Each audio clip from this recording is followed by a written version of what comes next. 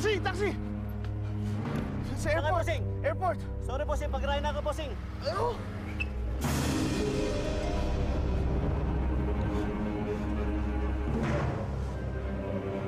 Gerardo! Gerardo, kailangan ko tulong mo. Importante. Excuse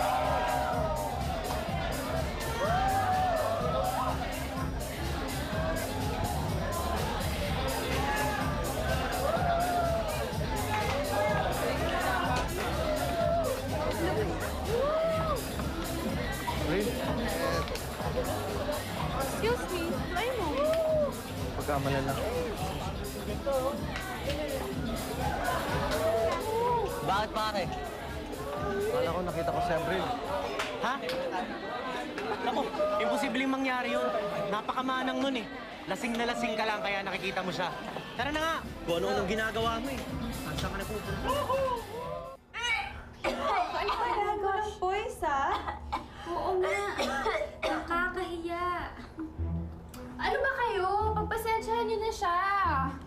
Mukhang marami yatang nainom to si Abril eh. Sorry ah, nahihilo na talaga ako eh. Gusto mo magta-taxi na lang ako pa uwi. Ano ka, sira? Taxi? Halika na nga, halika na. Ay, nako. Ay, nako. Come on. Let's go. This gimmick is so over. Let's go.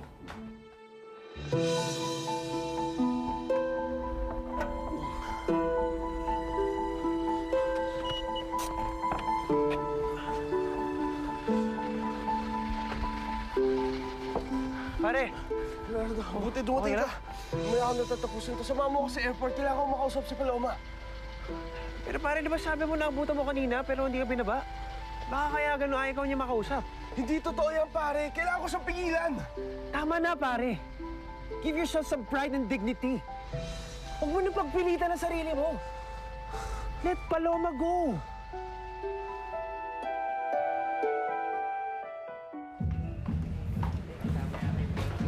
Saan na yun? Halika na, pare. Halika na. Teka, teka. Baka nasa loob pa si Abril. Eh wala nga eh, di ba? Alam mo, pinaglalaroan ka lang ng imagination mo kanina. Alam mo, kapag iniisip mo isang bagay, yun ang nakikita mo. Oo nga, pare. Mag-uumaga na, oh. Ayoko na sisigatan ng araw sa daan. Tara, tara na, tara na tayo.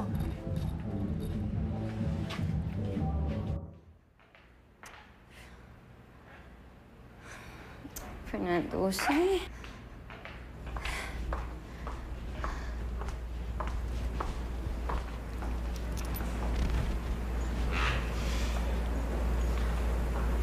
Fedra, matulog ka na. Inaantay ko pa po si Fernando kasi hindi po ako makakatulog na hindi pa siya dumadating. Nasa na ba kasi yung asawa mong yan eh?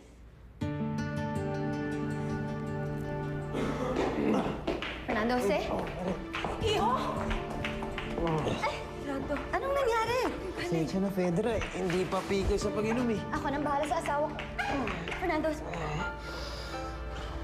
Bakit ka umalis, Paloma? Hindi mo ko dapat iniwan. Paloma! Halika.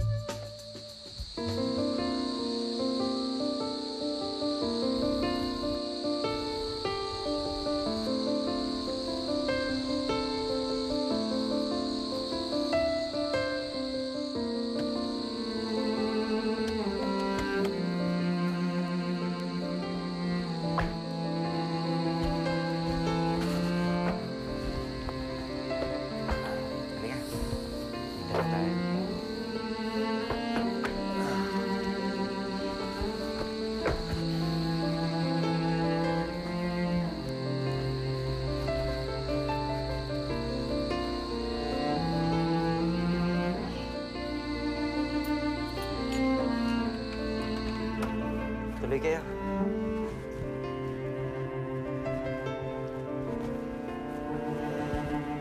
Wow! Ang ganda-ganda naman ng bahay. Ganda ba?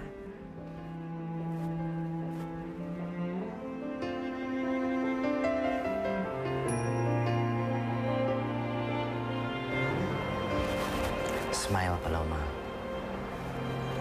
Malayo na tayo sa Manila. Malayo na tayo sa lahat ng gulo at saka problema. Dito sa Amerika, magsisimula tayo muli. Dito, sigurado makakalimutan mo na si Fernando Jose.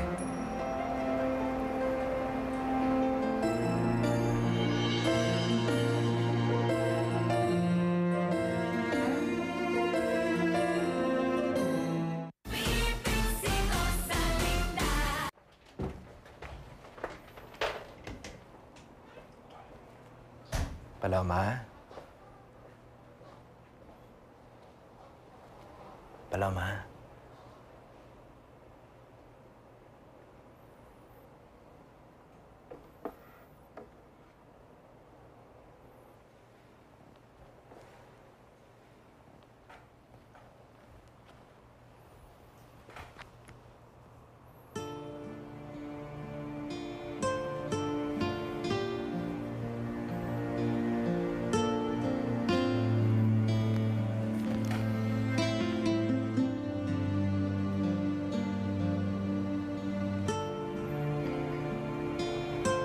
Hindi ko alam kung bakit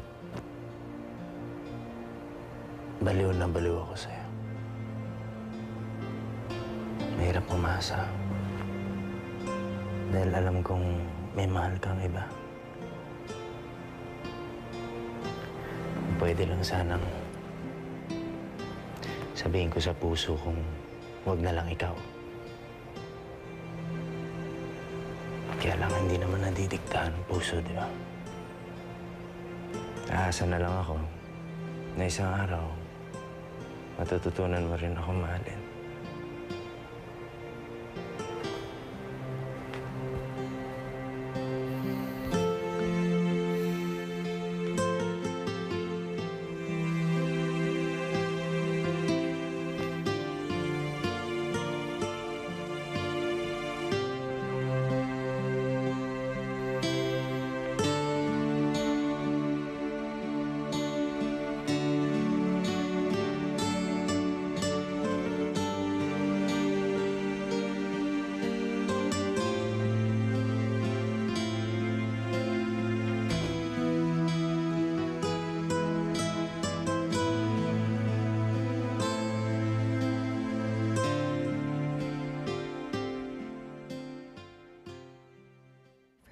We beseech thee, beseech thee, beseech thee, Father. Beseech thee, Father. Beseech thee. Holy Mother, we beseech thee. Saints and angels, we beseech thee. Please help my son. Please, those spirits, take them away from him. We beseech you, Father, please. With your merciful blood, we beseech thee. Ma? Beseech thee. Ma, anong ginagawa mo? Fernando, kasi pinagdadasal kita. Para layuan ka ng masasamang espiritu. Masasamang espiritu, ma? Yes, Fernando Jose. Bad spirits. Dahil yun ang bumabagabag sa isip mo. Anong pinagsasabi mo, ma? Anak, alam ko kung bakit ka nagkakaganyan. Dahil dun sa masasamang espiritong yon, binabagabag ka nila para maalala mo uli yung yumao mong asawang si Rosalinda. Kaya hanggang ngayon, hindi mo pa rin siya makalimutan. Wala na si Rosalinda. At hindi rin siya si Paloma. Isa pa may bago ka ng asawa ngayon. Di ka ba naaawa kay Fedra? Sigurado ka ba si Abril na nakita mo? Hindi nga ho, tay. Madilim kasi sa lugar na yun. Saka nakainom na ho ako eh. Ay, naku kuya, nahibang ka na yata eh. Eh kung sabihin na kaya kina Alfredo, noon pa sila nag-aalala sa lagay ng anak nila eh. Huwag muna solidad. Eh, hindi pa naman tayo sigurado kung si Abril nga talaga yung nakita ni Beto. Baka magkamali tayo at paasahin lang natin sila. Tama ho si Ethan. Eh, paano tayo makakasigurado? Ako na lang hong bahala. Hanapin ko si Abril kahit anong mangyari.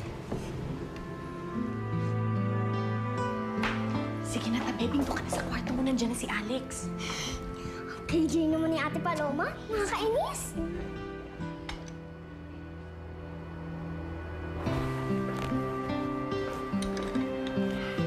Paloma, yung promoter natin, inaayos na yung concert mo dito. Ano bang ginagawa mo? Nagluluto ka? Alam kong palagi kitang nasasaktan. Kahit na napakabait mo sa akin. Kaya gusto kong bumawi. Pinagluto kita. Halika, kainin na natin ang pagkain bago lumamig. Mukhang masarap to, ha?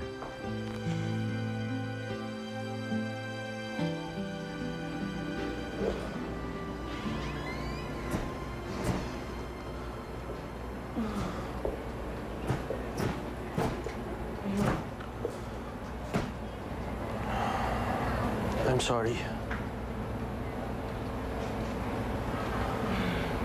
Sorry saan? Sa lahat. Tama si Mama. Lagi na lang kitang sinasaktan. Kapag nababaliw ako kay Paloma, alam ko masakit para sa iyo yun. Sana mapatawad mo ako. Hindi mo naman kailangan humingi ng tawad eh. Naiintindihan ko kung ano yung mga pinagdadaanan mo.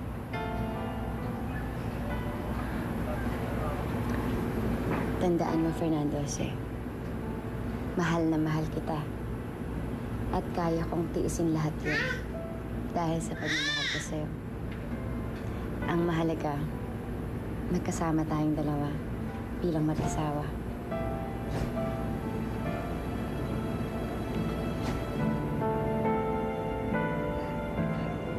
Fedra.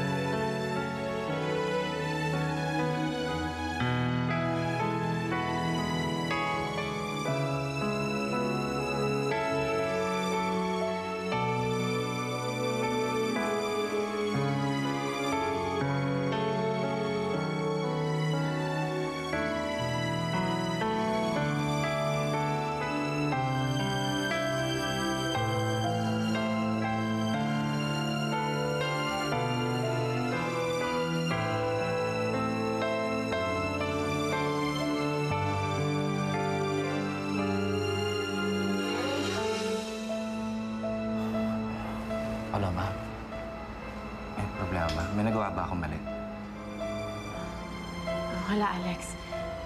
Wala. Pagod lang siguro ako.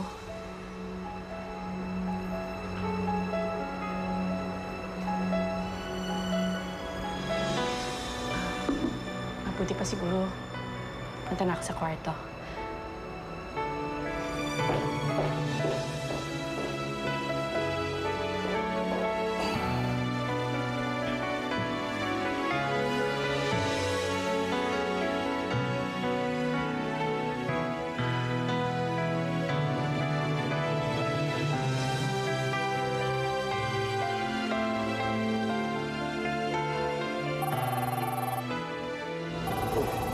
Sandali lang.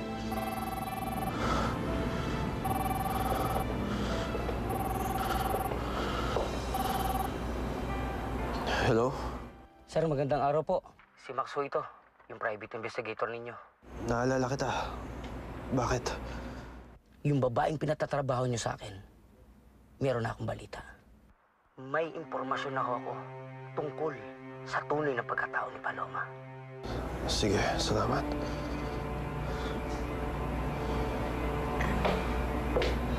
Hmm? Sino yan? Sorry, I have to go.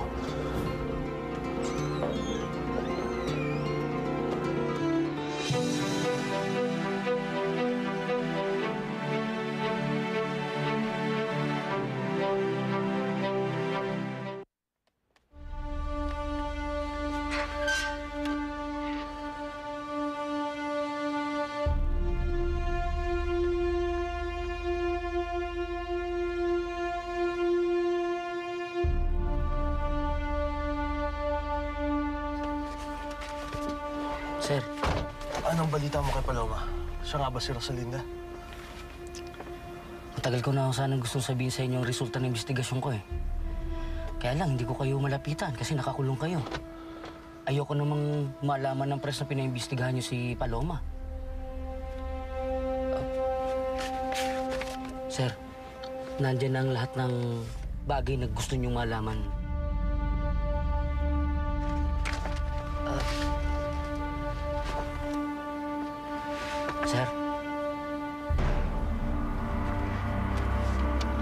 Ho talaga si Paloma. Hindi siya si Rosalinda. Paloma, Mercado ang tunay niyang pangalan. May birth certificate tsaka mga ibang dokumento na makakapagpatunay dyan.